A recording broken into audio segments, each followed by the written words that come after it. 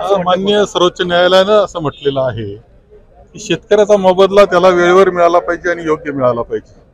त्या बाबतीतले निर्णय तुम्ही घेत नाही आणि तुम्ही मात्र पैशाचा उधळपट्टी चाललेली त्यांना दिसते आहे. हे कुठंतरी जे आहे हा फरक हा मान्य सर्वोच्च न्यायालयाच्या सुद्धा निदर्शनाला आलेला आहे. आता लाडकी बहिणा योजना म्हटलं तर बहिणीला पैसे मिळतात आम्हाला वाईट वाटत नाही. परंतु राजकारणाकरता हे सगळं चाललंय सत्तेकरता चाललंय.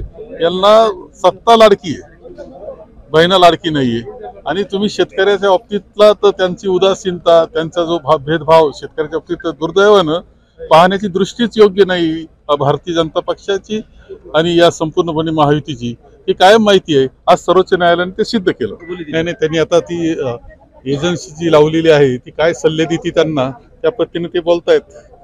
एजन्सी मोठी आहे म्हणता कोणती तरी. तिनं ते सल्ले देत आहेत आणि त्या पद्धतीने गुलाबी रंग हे सगळं सुरू भारतीय जनता पक्ष येतो. त्यांच्या बाबतीत मी बोलणं योग्य होणार नाही परंतु त्यांचा पराभव तिन्ही जणांचा महायुतीचा पराभव हा निश्चित आहे.